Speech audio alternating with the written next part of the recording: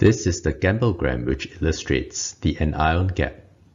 The first thing to emphasize would be that the cations would always be equal to the anions in terms of electrical charge, maintaining electrical neutrality and thermodynamic equilibrium. The anion gap is calculated by taking the measured cations, which in this case is sodium, subtracted by the measured anions, which would be the chloride and the bicarbonate. The normal anion gap is usually assumed at 12 milliequivalents per liter. However, albumin is the main component in the unmeasured anionic charge, and in the presence of low albumin, the anion gap will be reduced in hypoalbuminemia. For every 1 gram per deciliter reduction in serum albumin, the anion gap will reduce by 2.5 milliequivalents per liter. If you use grams per liter for every 1 gram per liter reduction in serum albumin, the anion gap will reduce by 0.25 milliequivalents per liter. In normal anion gap metabolic acidosis, bicarbonate is lost for example, through the gastrointestinal tract or through renal losses. Chloride increases and this will maintain charge equilibration. And therefore, the anion gap remains unchanged. The causes of NAGMA are easy to remember.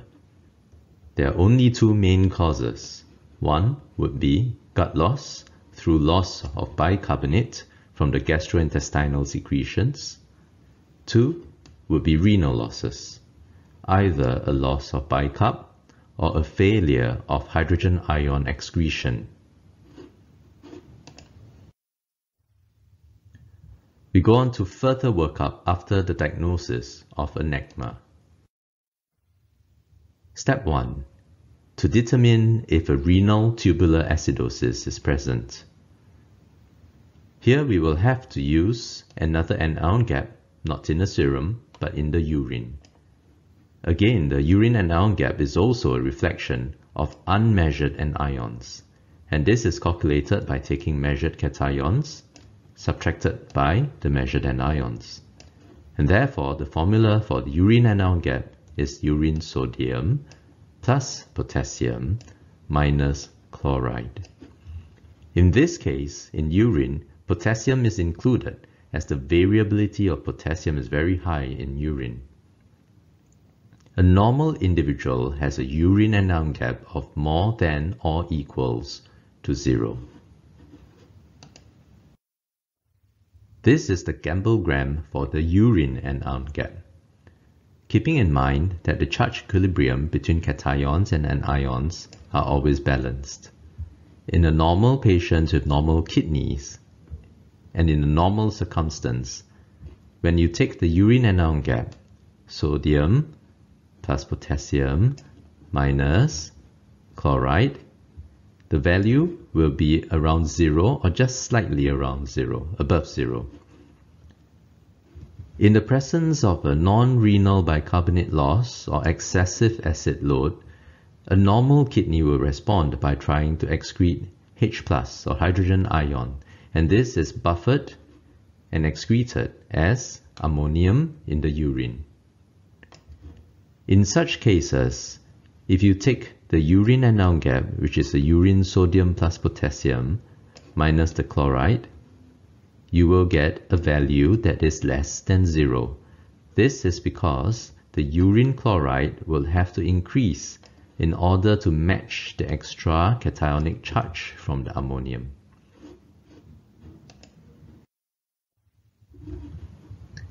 In the presence of metabolic acidosis, and in kidneys which are not responding appropriately to the metabolic acidosis, what you might find is that there is no change in the urine anion gap in that it is still above or at zero, and this suggests that there is a failure of acidification as in type 1 RTA, and there is no increase in the urinary ammonium. Or it could be due to bicarbonate loss. And this would be type 2 RTA, where we start seeing bicarbonate appear in the urine. And if you take the urine anion gap again, this would be more than zero.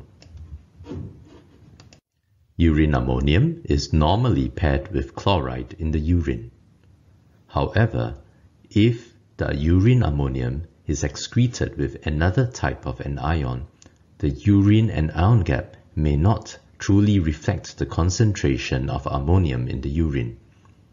Examples of anions would include beta hydroxybutyrate, and you might see this in diabetic ketoacidosis, acetoacetate, bicarbonate, or hippurate, which we'll see in glue sniffing.